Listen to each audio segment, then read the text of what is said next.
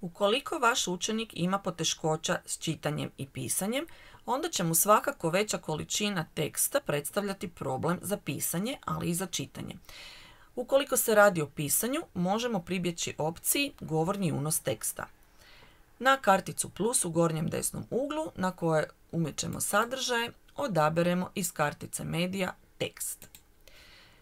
Odabrat ćemo posljednju opciju jer je najjednostavnija. Sada se otvara prozor u koji bi učenik zapravo trebao pisati. No ako mu to predstavlja problem, u gornjem desnom uglu nalazi se mikrofon putem kojeg može govorno unijeti svoj tekst. Naravno, e, ukoliko učenik neće pričati dovoljno, ne mora biti jako sporo, ali treba biti malo razumljivije kako bi program što bolje i što jasnije e, prepoznao tekst i napisao ga. Prepoznaje govor hrvatskog jezika, prepoznaje vlastite imenice pa ih stavlja velikim slovom, ali svakako uvijek kasnije se možete vratiti u tekst i raditi male intervencije kao što su točke, zarezi, ako je propušteno neko slovo i slično. Pa krenimo. Klikom na ovu ikonu ona će odmah promijeniti boju u crveno što znači da automatski snima, nema nikakvog odbrojavanja. Kasnije kada završite opet u tom gornjem desnom uglu kliknemo na ikonu onog kvadratića koja predstavlja završetak snimanja. Moje ime je Lidija Cvetko. Kao što vidite, lijepo mi je razdvojio riječi jer sam pričala dovoljno jasno i polako. Isto tako je moje ime i prezime napisano velikim slovom kao i početak rečenice. I sada taj tekst možete uređivati kao već svaki tekst koji unosimo u Book Creator, što je objašnjeno detaljnije u prvom tutorijalu.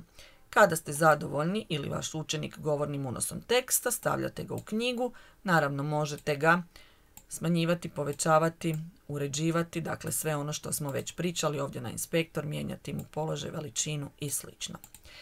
Ono što još možete govornim unosom nije samo unositi tekst, nego i tražiti slike. Idemo opet na opciju plus medija slike i pretražujemo pomoću mikrofona umjesto pisanjem. Dakle, ovo je povoljno i za manju djecu koja još ne znaju pisati i ne snalaze se možda na tipkovnici. Dakle, opet klikom na mikrofon on će pocrveniti i tražite sliku. Program će prepoznati hrvatski jezik, ponudit će vam slike i na hrvatskom jeziku ako ih izgovorite, međutim naravno da će vam opcije biti puno, puno veće koristimo li engleski jezik, no to baš i ne očekujemo od učenika s teškoćama. Na primjer, ja ću potražiti nešto. Papiga. Evo ga, ponudio mi ovo. Odabrat ću odmah prvu klikom na nju i karticom dodaj. Ona će se učitati u našu knjigu i ta slika je naravno opet podložna premještanju, okretanju, smanjivanju, povećavanju i sl.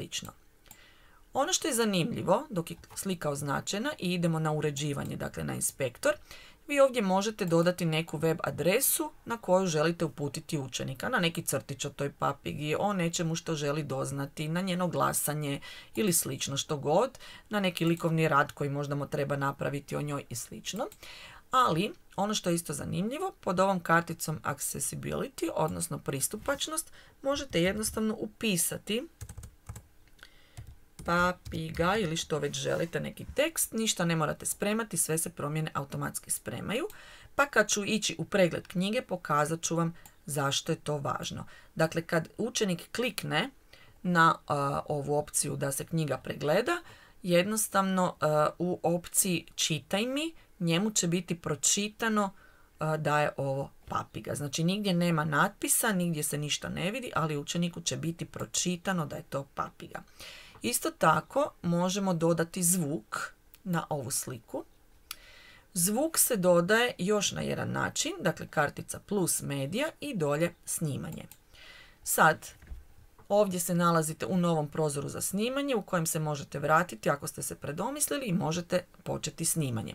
Klikom na ovu karticu odbrojavat će se od 3 do 1 i tada spremno snimate svoj govor. Ja sam papiga Poli. Evo, uvijek vam se nudi da preslušate tu snimku i možete ju obrisati i krenuti ponovno ili upotrijebiti ovu snimku. Na isti način učenici mogu, evo ja ću sada upotrijebiti snimku, na isti način učenici mogu sami snimati bilo kakav tekst također, ali neki govor, znači, ali on će biti onda na ovaj način učitan kao neki zvučnik, da je tu iza se snim, skriva snimka, dakle neće biti tekstualno. Međutim, ako vi učeniku snimate neki dio, recimo vi želite da učenik prepozna da je ovo papiga poli, da ona to vidi, odnosno da on to čuje, ali želite i da on to pročita i da jednostavno spoji slušni dio sa pisanim dijelom kako bi što prije naučio čitati ili ponovio. Znači, kada je ovako označen zvuk, imate opciju na inspektoru dodati transkript, odnosno e, dio, pisani dio ovog zvučnog e, zapisa. Ukoliko vam se ovdje ne nudi na hrvatski jezik, odmah si postavite u ovom padajućem izborniku i sad imate dvije opcije. Možete generirati automatski, da program sam prepozna što ste vi rekli, ili unijeti ručno. Meni će sada ovo biti brža opcija, pa ću iskoristiti tu. I sad je ovo isto zanimljivo, znači vi možete zatvoriti ovaj prozor i dok Book Creator to u pozadini umjesto vas radi, vi možete raditi i dalje. Znači, što se tiče ovog samog zvuka, on može isto tako biti vrlo zanimljiv. Kada ga sakrijete, a to ću vam pokazati nakon, evo ga sad se učitalo, malo ću povećati čisto da vidite o čemu se radi. Znači sada se ovdje skriva zvuk, a ovdje je i zapravo zvučni zapis koji kad kliknemo možemo promijeniti, malo uređivati jer naravno ne prepoznaje početak rečenice, velika slova i slično. Evo ga i kažem u redu. I sad kad slušate zvuk... Ja sam papiga Poli. Kažete djetetu ponovi i onda pročitaj. Onda on i pročita.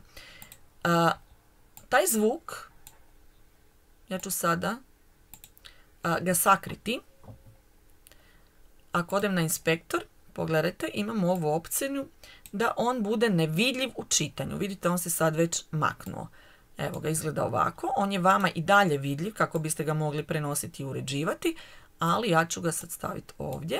U samom pregledu knjige to se neće vidjeti.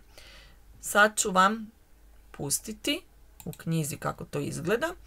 I sada vidite da se zvuk ne vidi. Međutim, ako ja kliknem na ovu papigu, onda će ona progovoriti. Ja sam papiga Poli. Transkript se naravno sad ovdje ne vidi, ali on nam sad nije ni bitan, htjela sam vam pokazati i ovu opciju.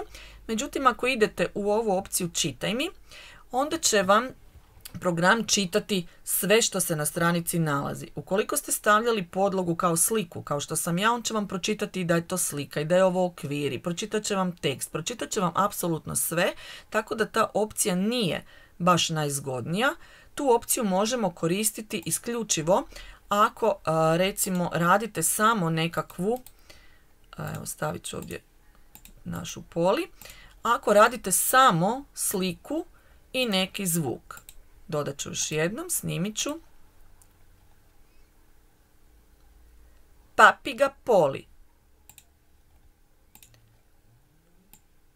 Znači imam taj zvuk, a mogu na sliku dodati i znači ovdje papiga poli i sada će mi u čitanju to dva puta pročitati. Znači pročitat će mi ovo što sam ja dodala u ovo objašnjenje i pročitat će moj zvuk tako da vidite kako to izgleda. Evo, ako odem na read to me, znači on će čitati sve. Paprika poli.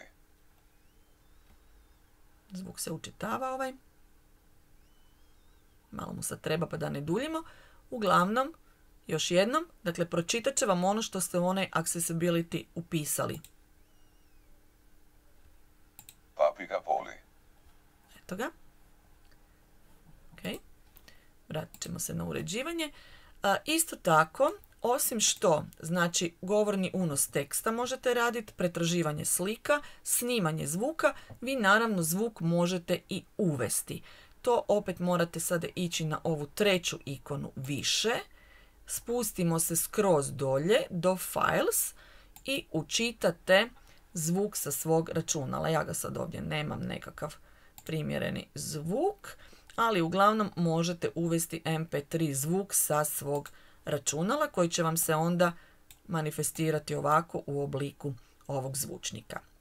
Eto, nadam se da vam je i ova uputa o unosu zvuka bila od koristi.